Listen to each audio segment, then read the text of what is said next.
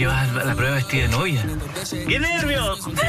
¡Sí! Yo no puedo creer que está aquí antes de mi prueba vestida de novia, pero ya. Estoy acá, Eduardo. Eres mi contención emocional. Nico, no, no me pidas contención Sí, emocional a mí, ay, por todo eso porque... Uf.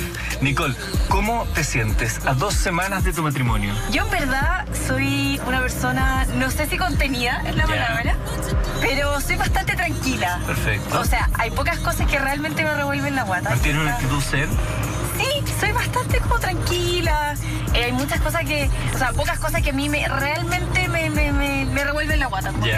Y esto es una de ellas porque no le tomáis el peso, en verdad, al símbolo hasta que en verdad está como la vuelta de la esquina. estás ahí listo para... Sí, y el vestido de novia, fíjate que me costó cargarlo como de, de lo que debe llevar. Porque además yo creo que la gente tiene una expectativa sobre el vestido que tú vas a usar. Considerando tu trabajo.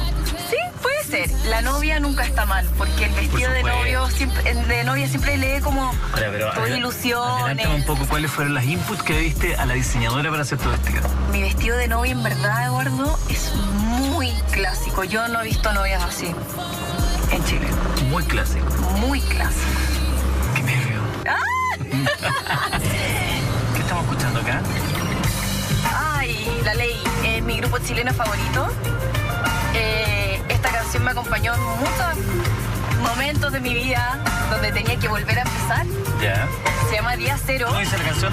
En ese camino largo que un día me vio caminar. ¿Te la sabía no? Comienza el día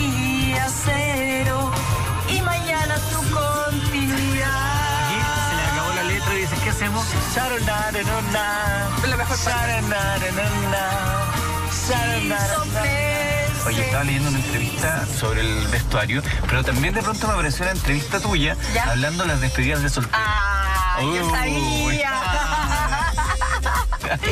Ya no se usan los vedetos. no. Tengo un amigo vedeto que le dije, mira, No, se ya, puso a llorar. no, tiene que reinventarse. Ah. No, está bien. A ver, yo no estoy diciendo que no se usen nunca los vedetos. Estoy diciendo que, eh, a diferencia de como era antaño, que era como todo así como más, más del pilucho, ¿Correcto? eh, hoy en día es más, es más una anécdota entre amigos. Si tiene pilucho, de pilucho, otra cosa. Yo te digo que en realidad quiero, quiero, quiero pasarlo bien con mi amiga. De repente que nos regalonen en la tarde, una cosita poca, un poquito de spa y después que ¿Tú ya tuviste unos. Todavía no, el novio tampoco. Y, uf. No, pero si es así, va a ser el mismo día, así es que... Yo creo que el mundo se divide entre hombres y mujeres que les gusta ir a despedida soltera y que odian su propia despedida soltera. Es que igual es un poco vergonzoso, ¿no? Sí. Sí, igual da un poco mono. Yo me he casado dos veces y las dos veces mi despedida soltero fue muy piola, muy tranquila. Porque yo lo que más les pedía No, a yo mis amigos, algo por favor, tranqui. gobernémonos. Y el novio es open mind, buena onda.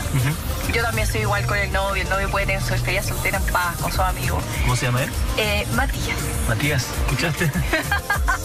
De nada. Eh, si no me equivoco, esta canción tiene un cielo de fondo muy lindo. Mira. Y bueno, Daido también hace esa mezcla. Y en algún minuto, siendo adolescente, me gustó mucho la música clásica. Y, yo muy nerd. Yo toqué violín. ¿Tocaste violín? Toqué violín. Ah, toqué pero- violín. La raja, ¿para qué voy a mentir? Pero eh, me gustaba mucho la música. Yo también toqué violín. ¿En serio? Sí, tenía unos amigos que salían a pololear, yo los acompañaba Ah. y yo tocaba violín todo el rato.